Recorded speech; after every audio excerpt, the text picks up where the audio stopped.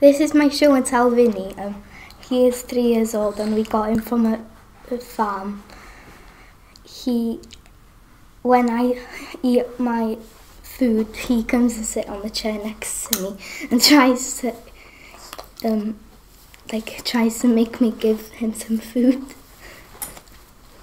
He, his favourite thing to do when we go for walks is just run around and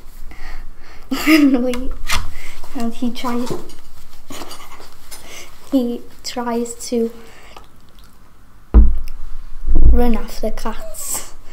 And uh, he's on antibiotics because a cat um, scratched him there and he is infected.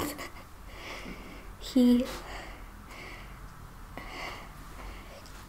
his favourite toy is this crocodile one and it has loads of squeak toys in it.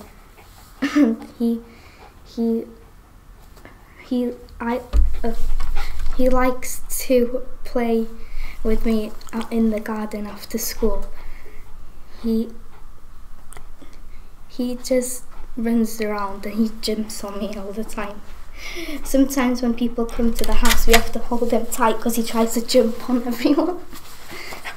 And he's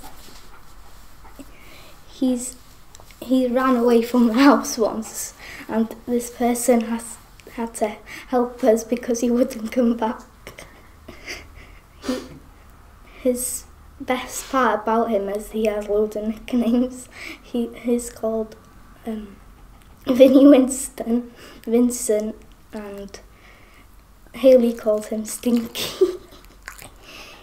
he he always, and I hold him, he always runs away, like now. And his favourite place to sit in the house is on the sofa and sleeps there all day. He loves treats. Sometimes when I give him treats, follows me around after I gave him them like trying to ask for more.